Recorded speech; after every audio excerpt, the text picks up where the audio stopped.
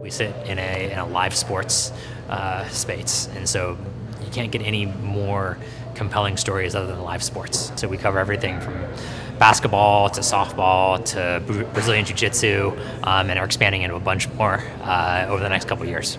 But the majority of our business and the majority of our efforts are geared towards the cross sport uh, advertisers who want to reach either athletes at all levels or sports fans at all levels or just have a general sports marketing uh, tilt. As our sales team was getting uh, more proficient at talking to advertisers and talking to more advertisers, we would get more data requests coming in. We had an aggregate over level view, but it was really disjointed. But Quantcast allows you to both look at individual verticals and individual properties, as well as aggregate everything into a kind of a company wide, network wide view. And so having the ability to do both it's like go deep on a specific vertical, with a lot of insights there, and roll everything up into one kind of aggregate view that gives a really good idea of our overall audience. It's having that flexibility is, is super, super important to our sales uh, sales team. So why would um, an insurance company want to advertise on a track site, you know, a wrestling site? They need us to prove to them why they should spend money, why we have that audience that is geared towards that. That tells a story that advertisers want to hear. It's, it's data that's necessary to, to show them and to just really tell that story that this is the right audience that you should be in front of. So at the beginning of each quarter, we're obviously facing a number of directions that we could go into.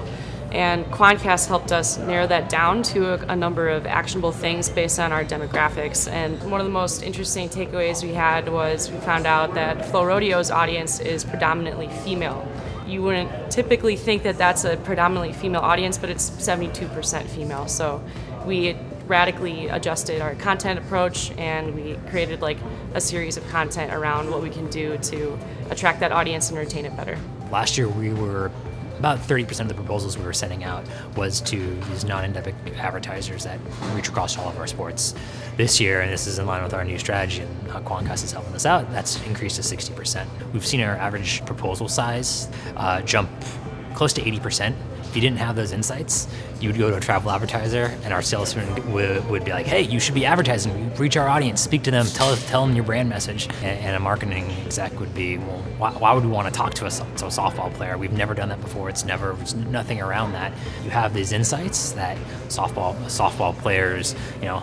Travel 30 days a year and, and stay in upscale like hotels, then that becomes a much more interesting conversation because it's not about the softball player. It's why these why this audience is traveling so much.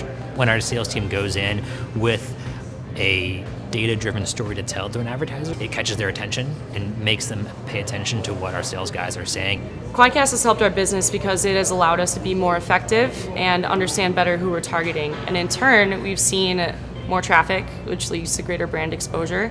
We've seen more subscriptions, which lead to more revenue.